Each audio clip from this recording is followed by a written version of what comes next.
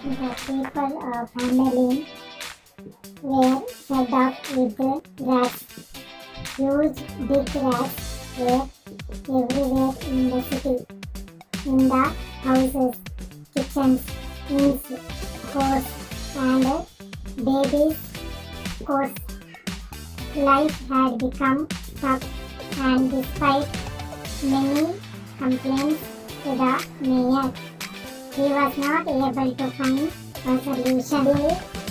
They got cats, but the rats were so many and so big that the cats were afraid of them. Can you imagine the poor people's desperation? And then one fine day, a strange tall man dressed in a colorful costume and a peaked head hat with the flute arrived.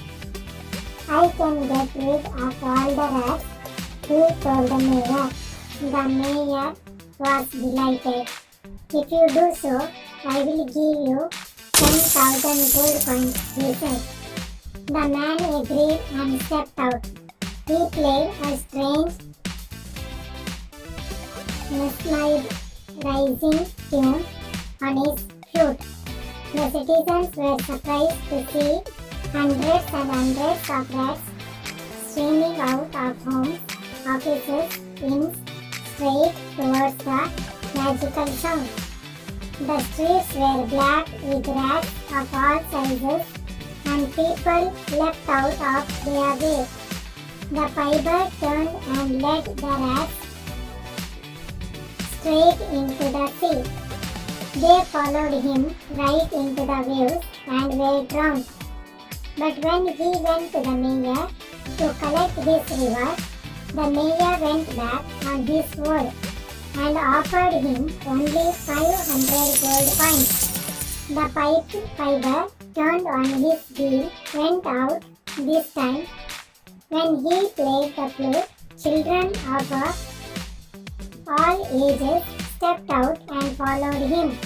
And in the blink of an eye, the Pied Piper and the children disappeared behind a mountain. After a while, returned, but he was alone. The parents wept and made the mayor apologize and promised to pay the Pied Piper the 10,000 gold coins. The piper disappeared again and when he returned after a few hours, the children were following him. The mayor had learned his lesson and he paid the amount he had promised. Subscribe now and press the bell icon. Never miss an update.